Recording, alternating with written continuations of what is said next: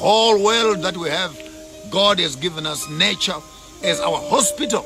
God has given us previous knowledge, ancestral knowledge, ancient knowledge as a connecting cable between generations. In other words, our forefathers, they once also were exposed to epidemics.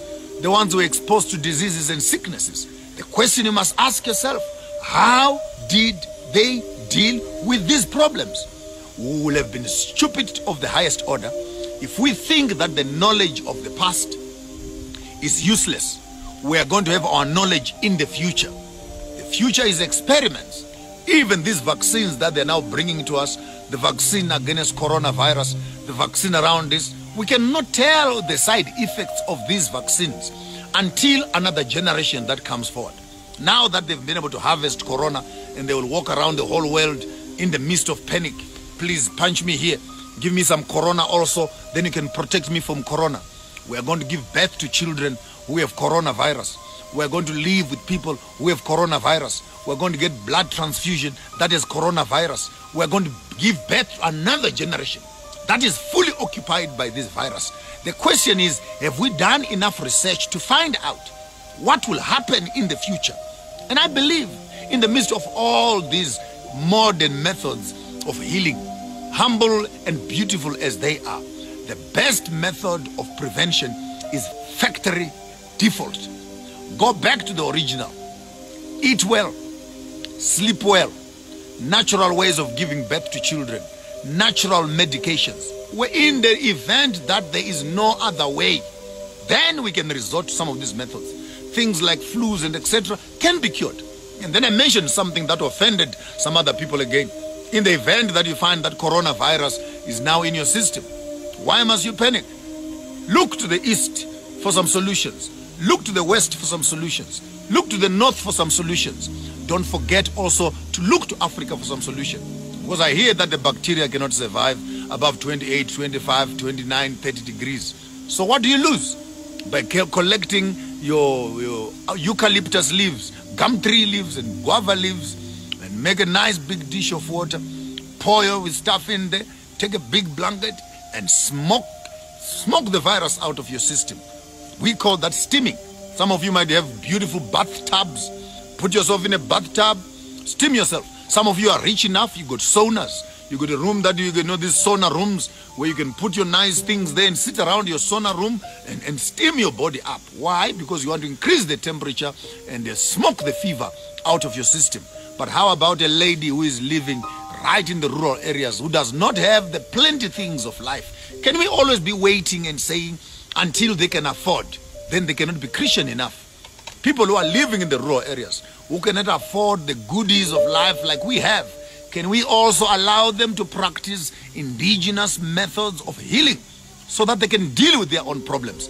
I think it is totally unfair that those that are educated, those that have gone to school, those that have proliferated in academic institutions should take the constipation of their knowledge and walk around those that are quote unquote primitive and impose some of those some of those knowledge systems to them because not everyone can afford life like you can afford not everyone has a medical aid like you have.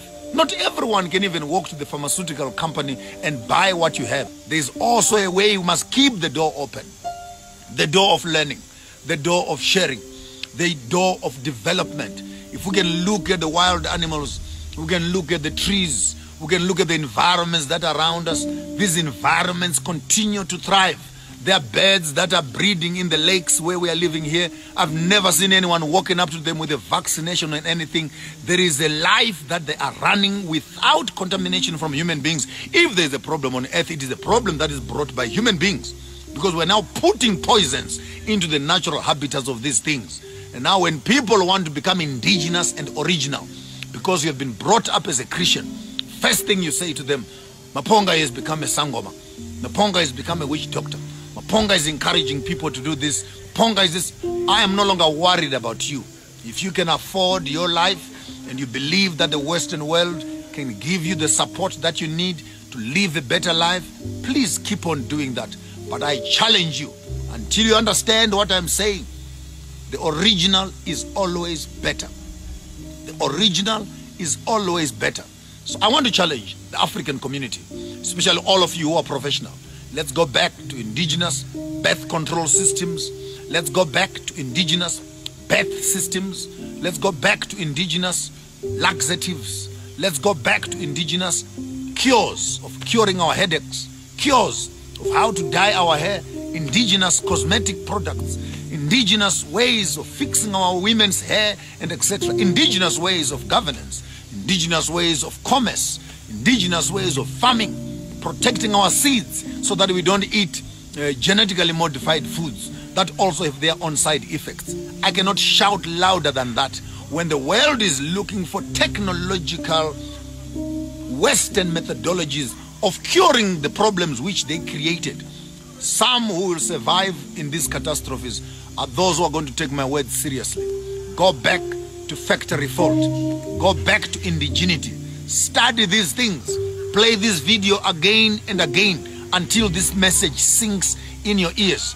In the olden days when we were young and someone had a problem of eyes, for example, a young boy will be found, hey, please go and pee. Yeah, yes, pee. Go and pee in this one's eyes.